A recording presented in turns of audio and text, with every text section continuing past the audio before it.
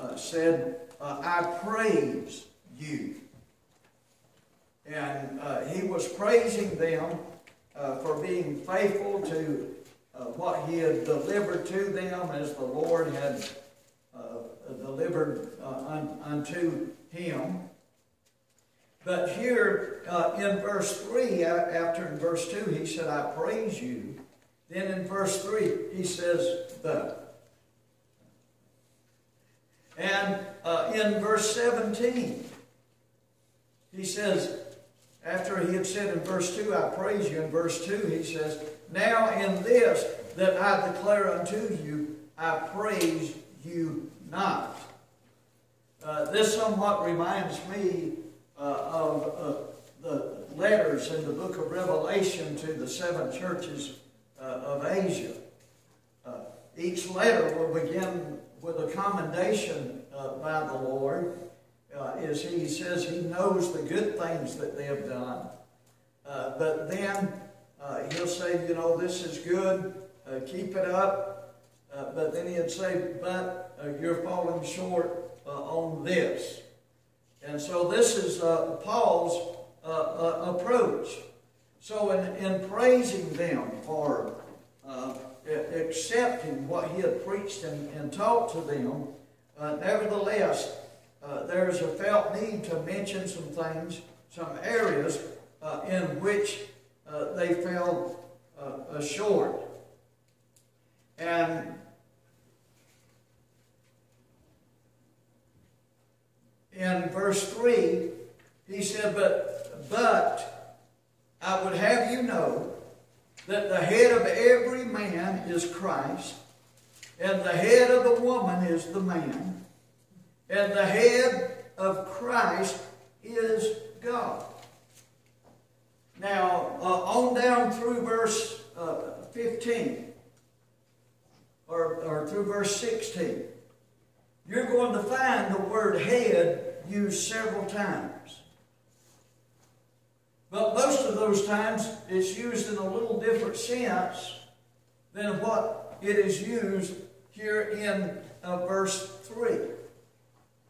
In other words, most of these verses are talking about in a church service the men and the women as to whether they have their head, their literal head, the head on their shoulders, covered or uncovered, or whether they're, uh, this head is shaven, uh, or whether it has long hair.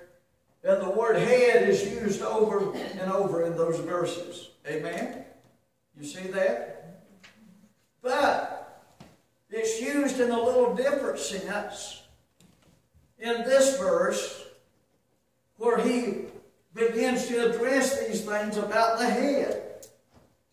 And, and that is he starts off talking about the head by saying, But I would have you to know that the head of every man is Christ, and the head of the woman is the man, and the head of Christ is God. I submit to you that this verse is the main theme of all that's said in the following verses about the head covering or not covering the head, hair or no hair. Those customs are not the main theme here. The main theme is this eternal principle that has uh, to do uh, with God's line of authority and submission to authority. And so he states that right, right at the beginning. The head of every man uh, is Christ. And in an authoritative sense, the authority of Christ uh, to which every man is to submit. When it says the head of the woman is the man, it is talking about the man's authority uh, and the woman's submission uh, to it. The same thing with the head of Christ uh, is uh, God. I want to uh, refer here, plan to do this later, but this is a good place, of what Paul said of the colossal Christ. In Colossians chapter 1, verse 18, and he is the head of the body, the church, who is the beginning, the firstborn from the dead, that in all things he might have preeminence, first place. So this is what it's referring to with the word head uh, in uh, verse uh, uh 3. But as relates to the customs and traditions of whether a man or woman should cover their head in a church service or have uh, long hair, short hair, uh, uh, what, whatever. here the idea is the head in verse 3.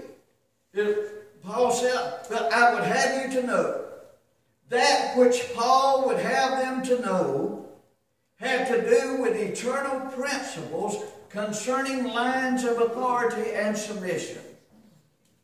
It is the responsibility of leadership to, uh, such as the Apostle Paul and leaders in the church today to teach how to apply unchanging eternal principles to customs and traditions which may change, it may vary from generation to generation, from country to country, from culture to culture, from race to race, may vary, customs may vary from institution to institution, but there are eternal principles that do not vary, that do not change. And God wants leadership to teach membership how to apply those eternal principles to our changing culture. Are you with me? Now, uh, this uh, eternal principle of uh, the woman being subject to the man, is it eternal? Uh, well, uh, uh, in now we know there is a, a sense in which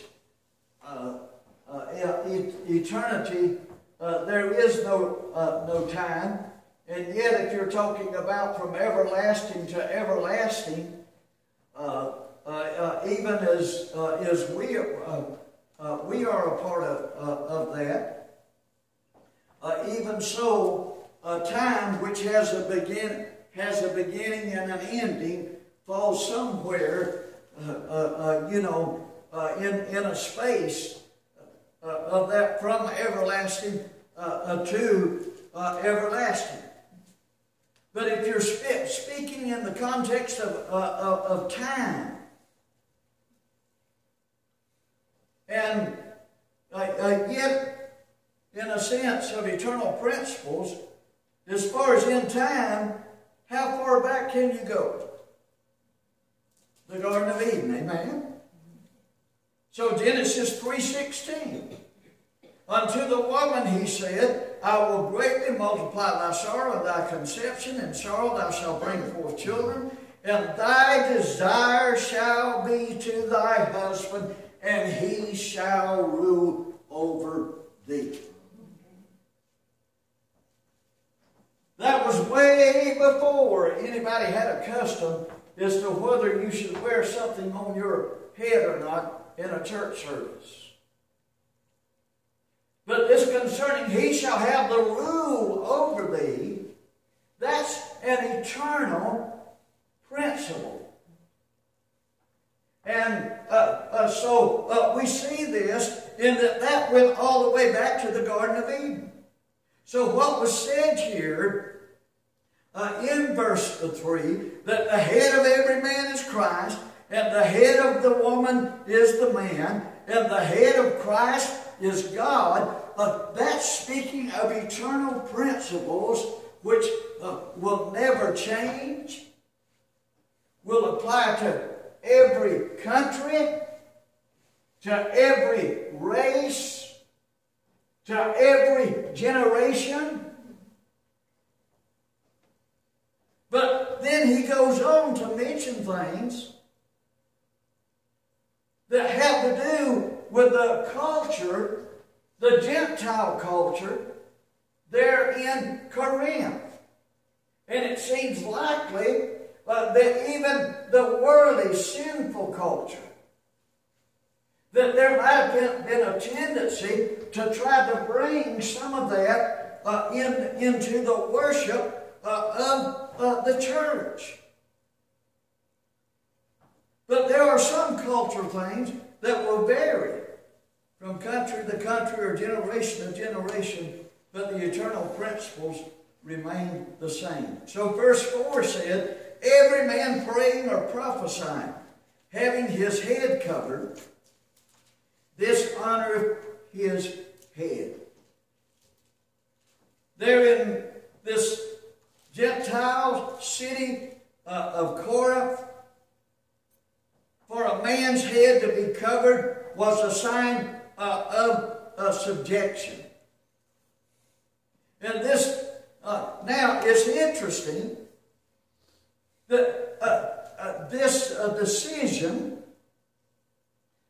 okay, and God wanted man to be a, a reflection of his line of authority. He is the head of the woman. And Christ is the head of the man. And in, uh, uh, that headship was to be honored. And in that, that day, if a man covered his head, it, instead of it being a, a symbol of uh, his authority, uh, as a head in uh, authoritative sense, it was a sign that he was in subjection. Now, but the interesting thing about it, that, that's in that culture, in the Corinthian culture. But what about this? This decision of the apostle was in point blank hostility to the canon of the Jews. The canon of the Jews and the custom of the Jews was just the opposite. For they would not suffer a man to pray unless he was veiled. For which they gave the reason, quote, in their canon, he should veil himself to show that he is ashamed before God and unworthy with open face to behold him. So here in the culture, the Gentile culture, at, at, at Corinth, if a man covered his head in a church service, uh, uh, he dishonored his head. But according to the Jewish culture, if he if he did not veil uh, uh, uh, himself, well then that would be wrong. So the culture was different, but in each case,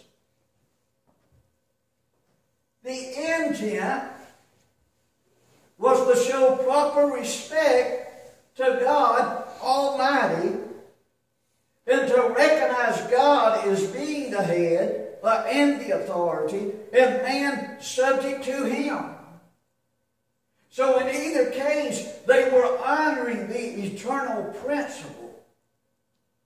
Uh, are you with me? Are you following me here? There are eternal principles that leadership needs to teach people how to apply to varying cultures. The principles do not change, but the cultures may change. Now, for, let me give you a modern day uh, for instance. There, there are parts of the world in which the men wear robes. Some of them may look almost like, like dresses. Especially in African countries, some, some of them uh, uh, would uh, look like dresses. Well, guess what? I'm not going to wear one of those in the United States in the pulpit.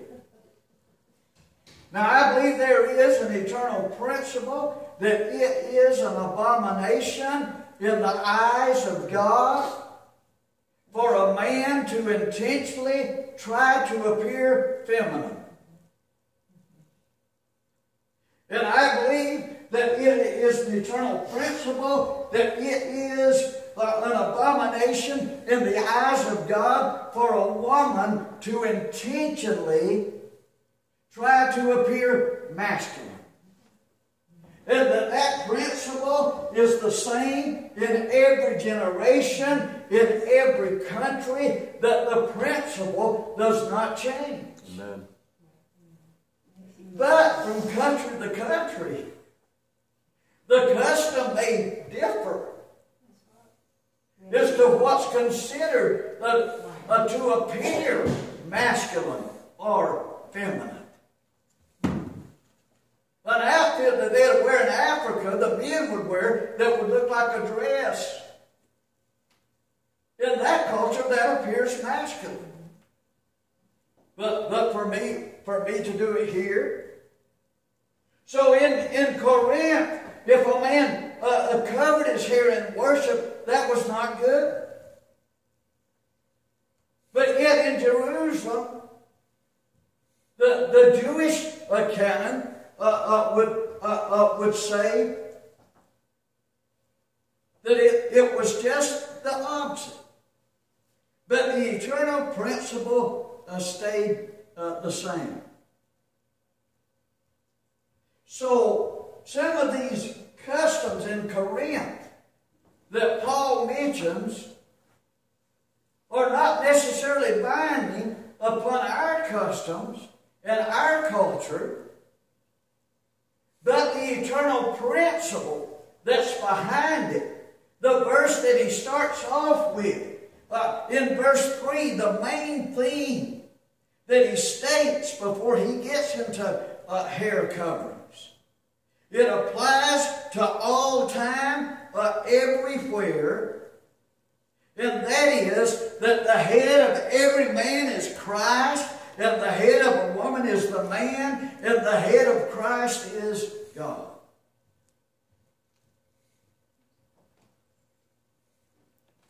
In 1 Corinthians, again, uh, commenting on this uh, difference of a head covering for a man in, in worship as it varied even in Paul's day. The complete opposite in Corinth is, as it would have been in, in Jerusalem. Paul said, as we uh, preached to you in time past, uh, as I preached to you in time past, in 1 Corinthians chapter 9, verse 19 uh, through 23, Paul said, For though I be free from all men, yet have I made myself servant unto all, that I might gain the more. And unto the Jews I became as a Jew, that I might gain the Jews. To them that are under the law is under the law, that I might gain them that are under, under the law.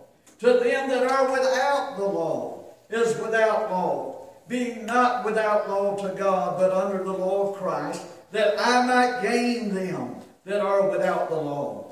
To the weak I became as weak, that I might gain the weak. I have made all things to all men, that I might by all means save some. And this I do for the gospel's sake, that I might be partaker thereof with you. Consider the question of, of circumcision uh, in uh, the early church. Some were preaching and teaching that was necessary for salvation. The first assembly in Acts 15 said, not so. But here Paul, most of his missionary work done, done in Gentile countries, and the first place he would go to uh, would be a, a Jewish synagogue. And he asked a young man by the name of Timothy to accompany him on those missionary journeys. And Timothy had not been circumcised. But Paul knew if he took Timothy with him, if they went inside of a Jewish synagogue and began to teach with authority, they wouldn't get very many words out of their mouth before they'd be kicked out. so guess what? Timothy became circumcised, all things unto, uh, unto uh, all men. So, uh, customs and traditions are not the same in every country, in every generation. But regardless to the, the uh, uh, and vice versa, a custom and tradition must uh, must never be an excuse for not being faithful to God's eternal principle. Amen. Yes. So you see it. See, there's uh, there, there's there's two sides of it. So I remember one year in Bible Training Institute, Ray Wynn was the superintendent, and his theme for that year was flexibility without compromise. Amen. Flexibility without compromise. I think of Acts 15, and I preached on some of this in this year's assembly where the letters were sent out from that first assembly, talking about laying upon you no greater burden than these necessary things. Well, for almost 50 years, what those words necessary things registered in my mind were things that were necessary for salvation. Well, that was part of it, but that was not all of it. There were some things that were necessary that were addressed in that, that assembly to avoid the church splitting right down the middle and having a Gentile church and a Jewish church. There were some things that were decided that were uh, uh, unnecessary to show mutual respect for varying customs and traditions. There were some things that were necessary to be said if the church was to be effective in carrying out the Great Commission to every part of the world. They said more than just abstain from fornication. Now, certainly that would have to do with salvation. They said more than it's not necessary to be circumcised to be saved. And yes, those things are necessary.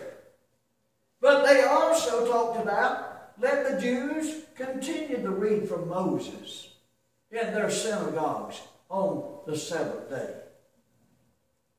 And I can mention some other things that had uh, to do with uh, uh, the, uh, the blood of animals and animals being strangled that I believe all in the world that had to do with was a mutual respect for varying customs and, uh, and, and traditions. And uh, instead of having uh, uh, uh to do as a requirement for salvation, that it was, some of that was just the opposite to recognize that some of these things were not necessary for salvation. Now, what about that? Circumcision being one of them. They were not just listing one, two, and three, and on and on and on about necessary things. These things are necessary for salvation. They even listed more things that what they were saying, these things are not necessary for salvation. Check it out. Uh, Acts uh, uh, 15.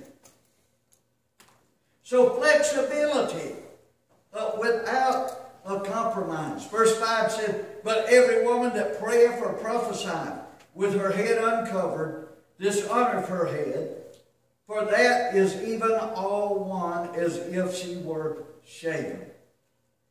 Now, for the sake of time, I'm going to read uh, from a commentator that I think sums up so much of this uh, real well uh, this uh, 1 Corinthians uh, 11, verses uh, uh, 4 through 16, uh, concerning the covering or not covering of the head and how this related to the men and the women. Adam Clarke says, concerning, beginning at verse 5, and the words, But every woman that prayeth, and then, it, of course, it said, are prophesying. He said, whatever may be the meaning of praying and prophesying, in respect to the man, uh, they have precisely the same meaning in respect to the woman. Paul recognized that women do prophesy in the church. But he was saying that if they do, that they're at, at Corinth, that they should not do that with their head uncovered. So that some women, at least, as well as some men, might speak to others to edification and exhortation and comfort. That's what prophecy is. And this kind of prophesying or teaching was predicted by Joel, Joel 2 and 28, and referred to by Peter, uh, Acts uh, 2 and 17. And that prophecy said, I'll pour out my spirit upon all flesh, and your sons and your daughters shall prophesy. Adam Clarke goes on to say, and had there not been such gifts bestowed on women, the prophecy could not have had its fulfillment. The only difference marked by the apostle was the man had his head uncovered because he was the representative of Christ. The woman had hers covered because she was placed by the order of God in a state of subjection to the man, and because it was a custom both among the Greeks and the Romans and among the Jews an express law that no woman should be seen abroad without a veil. This was and is a common custom through all the East, and none but public prostitutes go without veils. And if a woman should appear in public without a veil, she would dishonor her head, her husband. And she must appear like to those women who had their hair shorn off as a punishment of whoredom or adultery. Now, this is even seen in the Old Testament. Numbers chapter 5, verse 8, and Numbers chapter 5, verse 18. Surrounding verses, you can read it. That a woman suspected of adultery was ordered by the, by the law of Moses to be stripped of her veil. So, in, in that day, for her not to have her head covered, it would send a message I am not subject to my husband. He is not my head. I do not belong exclusively to him. And if a jealous husband came to the priest, the priest would examine the case, and if the woman had slept with someone else, uh, then uh, they would strip her veil from her. You see, although customs may vary from country to country, from generation to generation, there are certain customs or violations of customs that will convey certain testimonies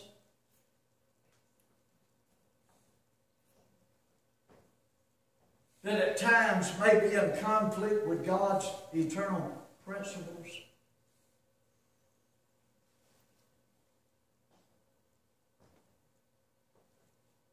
I can remember at least as far back as, as the seventh grade, and I'm sure before then. In the early 60s, I'm sure in the late 50s, and as far back probably as you can go in this country before then. if a woman walked down the street with a pair of pants on, I can remember even at that age, you would hear the wolf whistles. And the customs and traditions uh, were, were such until in, in the custom and tradition of that day, that conveyed a message that she was available.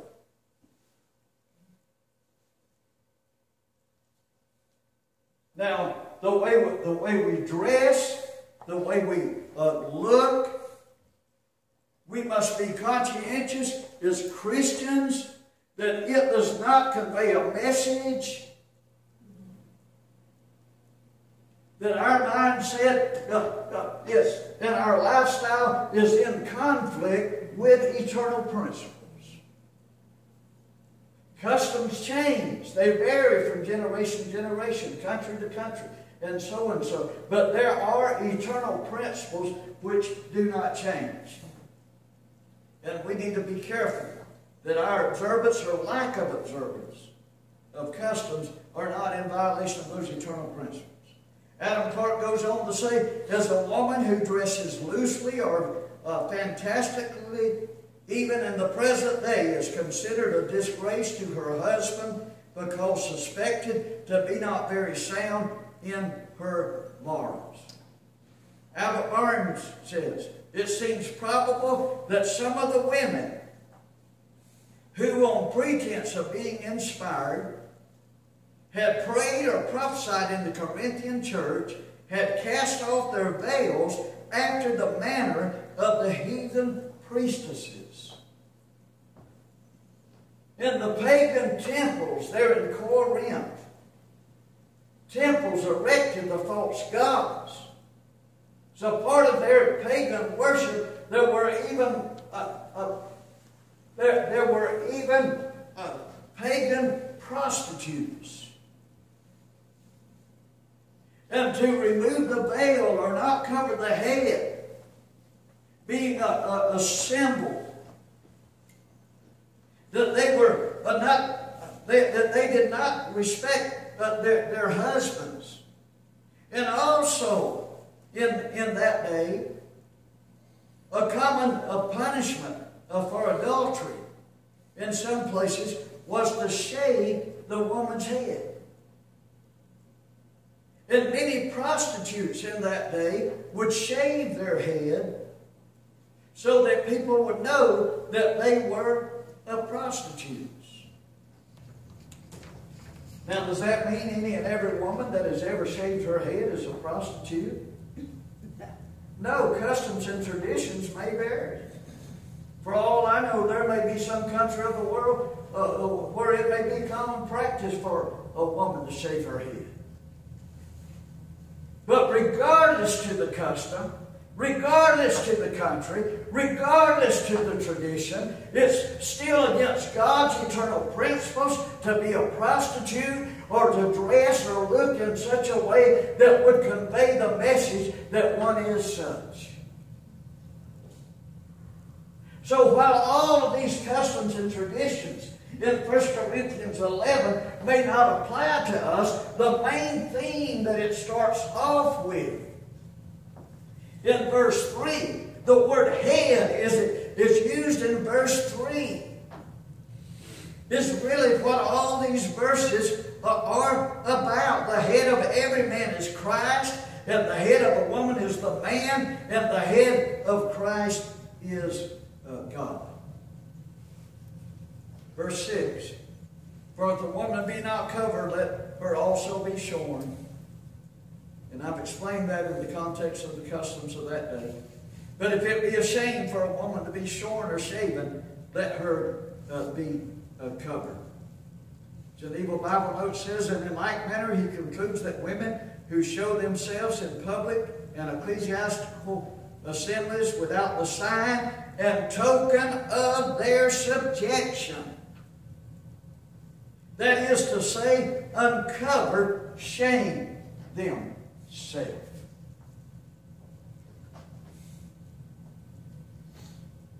Verses 7 through 10. For a man indeed ought not to cover his head, For as much as he is the image and glory of God, but the woman is the glory of the man. For the man is not of the woman, but the woman of the man. Neither was the man created uh, for the woman, but the woman for the man. You see, it's all going back to verse 3 about headship and authority and, and subjection. For this cause ought the woman to have power on her head, uh, because of the angels, to have power on her head. It's talking about the symbol of being under power or being under authority and being uh, subject to that authority. It said because of the angels. The fallen angels would not be in subjection to the authority of God Almighty. And that should serve as a reminder of those who will not respect God's lines of authority today. Verses 11 and 12. Nevertheless, neither is the man without the woman, neither the woman without the man and the Lord. For as the woman is of the man, even so is the man also by the woman. But all things of God. So in the work of the Lord, the men cannot do that work without the women. And neither the women without the men. But it is God that worketh all in all, and to God be the glory. Amen. And again, Paul said of the colossal Christ in Colossians 1 and 18, and he is the head of the body, the church, who is the beginning, the firstborn from the dead, that in all things he might have preeminence. Verses 13 through 16. Judging yourselves. Is it comely that a woman pray unto God uncovered? Doth not even nature itself teach you that if a man have long hair, it is a shame unto him? But if a woman have long hair, it is a glory to her for her hair is given her for a covering. But if any man seem to be contentious, we have no such custom, neither the churches of God.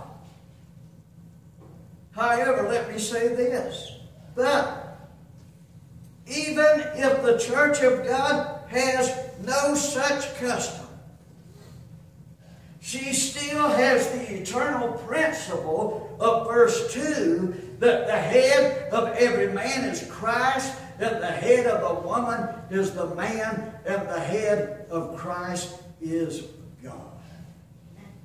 So whether we're bound to the custom or not, we are still bound to God's eternal principles. Then in verse 17, now in this I declare unto you, I praise you not, that you come together not for the better, but for the worse. And then he goes into uh, questions about the Lord's Supper. But I read that to take you back where it said in verse 2, I praise you. But then verse 3 said, but. And then when he gets through discussing this concern the head, he says in verse 17, I praise you not. And he's going into a second thing that he couldn't praise him for, which was concerning uh, the way they wrongfully observed the Lord's Supper. Some concluding remarks in light of what we've shared to you from the words here today. Some of this be a little repetitious, but in summary, it is an abomination in the eyes of God for a man to intentionally try to look feminine,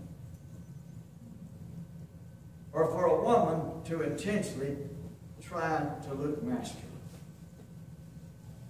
But customs may vary from generation to generation. or even from country to country, from race to race, is to what's considered to appear feminine or masculine. The way we dress or look can convey a message as to whether we have respect for God's eternal principles.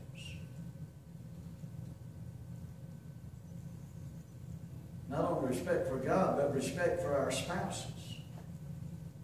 A spouse who dresses, now a spouse can either be a, a, a man or, or a woman, married to the opposite sex.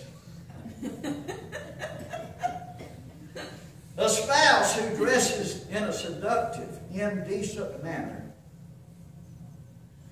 shows disrespect to their companion and conveys a message that they are not exclusively subject to their companion. Now, I, I know you people, you're not quiet because you disagree with me. So could I hear an amen? Amen. Here's another one. The Holy Ghost and a little common sense will help people know the difference in an apron and a fig leaf. the Garden of Eden, Adam and Eve, they realized they were naked and they made themselves aprons of fig leaves. But when God came and saw them,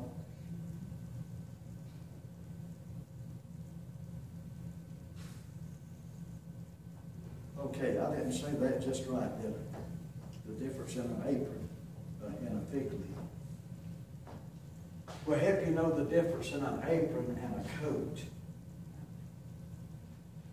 They made themselves an apron of fig leaves. But when God saw them, he slew an animal, took the skin of that animal, and he made them a coat. So, you know, without the pastor going around with a measuring tape in his hand, the Holy Ghost and a little common sense will help people know the difference in an apron and a coat. Amen. Amen.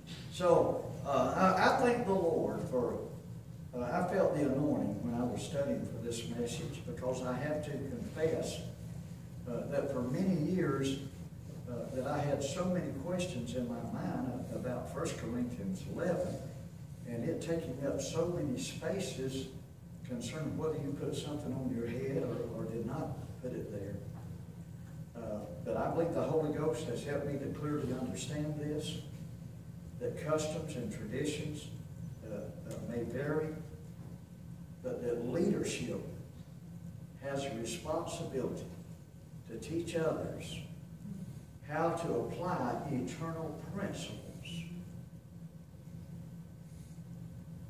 to the customs of people where they are. And again, we should never use customs as an excuse for violating God's eternal principles. Amen. May God bless you all. And we're going to have a good time of, uh, of.